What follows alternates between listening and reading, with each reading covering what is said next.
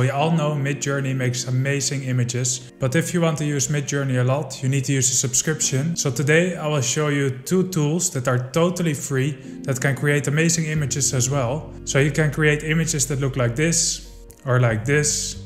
So the first tool I want to show is Instant Art. The nice thing about Instant Art is that it's all in the browser. You don't have to go to Discord or anything else. So once you go to instantart.io, you already get a lot of images here that show what it's capable of. You can see that it makes really pretty images. And the nice thing is you can see exactly what prompt people are using. It's using the white wolf, look at the sky, cinematic style, colorful, 8K, high detailed. And you get this nice image and you can even download it. So how you start is just by creating an account by pressing get started. After you log in, you arrive at the same page that you were before. And this is where I'm gonna get some inspiration because I like some images here so I can use that for my own prompts. I do think this image is very nice. It's like a city on sunset with a lot of neon. And here I can see the whole prompt that it used. All very nice things. So I will just copy this prompt. Uh, and after this, we go to generate. Here we have a couple of options. So first, describe your image. This is where you should include your prompt. So we have the one from before, panorama of a night city, lots of lanterns, tall buildings, river, bridge, fantasy style neon ambience. And I think that's okay for me. I like photorealistic maybe there, and the rest is not necessary. And then here you can do negative prompts. So if you don't want to have some things, so if you don't like a certain color or you don't want cars or whatever, you can say don't, you can type cars and then you won't get any cars on your image. On the right here you have the, some options for the image that you will create. First you can choose the dimension, so you have a couple landscape ones, a square and some portrait ones.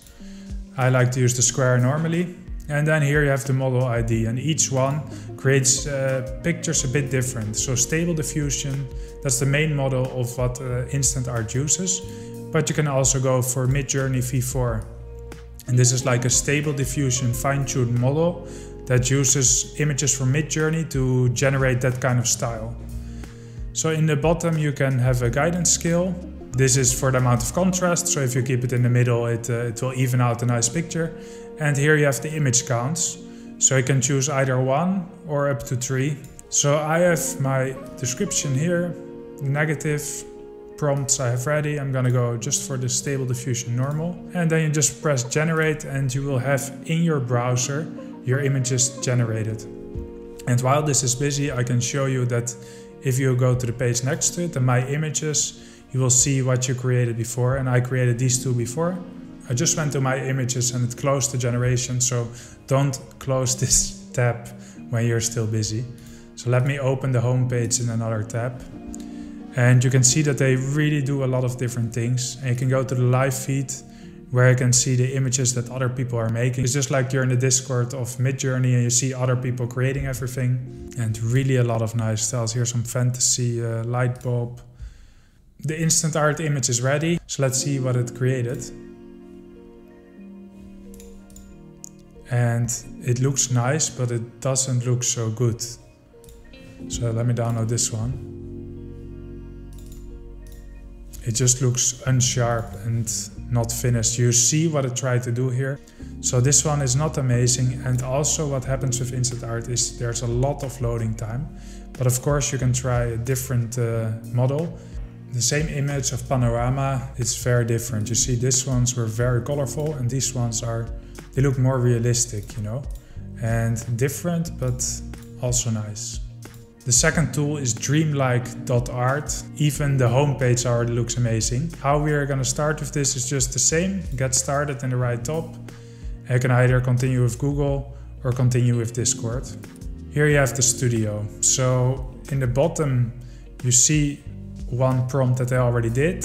This is the prompt that I use, futuristic, deformed portagate, cold colors, light flare, cyber, technology demonstration, high quality. And I really got some nice images with this. And again here you click on the image and on the right you get the information uh, of the image, of how it's, uh, which model it uses, what is the prompt, all that stuff. Here on the left you can choose between three different models so you have diffusion one and the nice thing is here you see kind of what style you can get. Dreamlike Diffusion 1, Dreamlike Photoreal 2.0. So you see these really look real, like real images, and you have Stable Diffusion. For this tool, I like to use Dreamlike Diffusion. So I just go here, and if I press the settings, I have a couple of things. I can prioritize the prompt or prioritize creativity, number of images that we receive after prompt, and here you can choose the aspect ratio again. For this one, I'm gonna again get some inspiration from the instant art. So I go here, go to popular. I like this image, it's very gritty, city-like. Cyberpunk mob boss, perfect composition, beautiful, detailed. I'm just gonna copy this full prompt and I'm gonna plug it in in the AI art generator Dreamlike Art. I'm just gonna paste it and here you can see that this stream cost 4.6 credits. And here in the top you can see my credits. You start with 50 with a new account and after that you get new credits every hour. So it is free, but sometimes you have to wait for new credits. And I'm just gonna press dream and see what it comes up with. So this is the image that I used. I used the same prompt as this one. And here you see you get something very different which actually seems better to the prompt because the prompt is the cyberpunk mob boss and here you see someone small in the distance but these ones actually look very nice I, I can imagine this in the cyberpunk game I like the first one with the background with the lights it's, it's quite realistic so I'm just gonna download this by this button Asian girl, short hair in the city, Blade Runner, new retro wave. I like this one. I'm gonna paste it again. The creativity gonna be more in the middle. I'm gonna make four images and I'm gonna do a square image and dream. And you see that the credits were different because I make different amount of images. I copied the prompt from here and you see that it uses much more the background and it shows much more the background. That was with this one and the previous one as well. And here you see it's really focused on on the an Asian girl. So that is really different.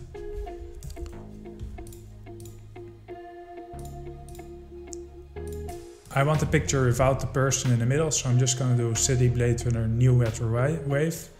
And I'm gonna do a different one, Stable Diffusion 1.5 to see how it looks. And here it cost 4.4 this time. And you see this time you got totally different style. So let me try this one as well, but then with Dreamlike Diffusion 1.0.